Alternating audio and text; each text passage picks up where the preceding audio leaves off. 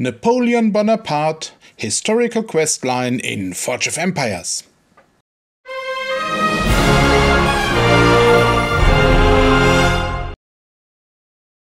From March 16th until 21st, we will get the historical quest line Napoleon Bonaparte.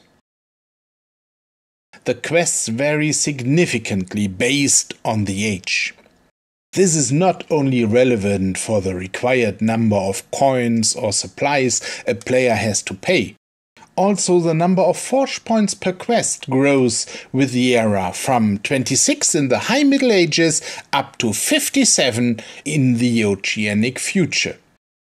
Nice to see that the unpopular tasks like develop a technology, acquire sectors, or explore a province offer alternatives. I really needed until the very last day of the event to complete the quest line. As usual, this quest line provides random rewards. By the way, these rewards benefit from the Chateau Frontenac. Already for the fourth quest, players receive an extra reward, a champion. For the eighth quest, there is another reward, a store building kit.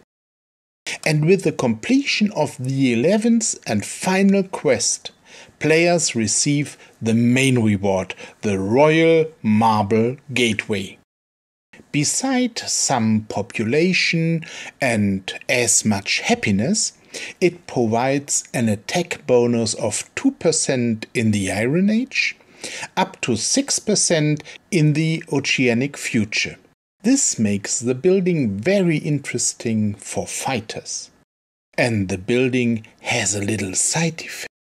As soon as it is built, Napoleon will start to ride through your city.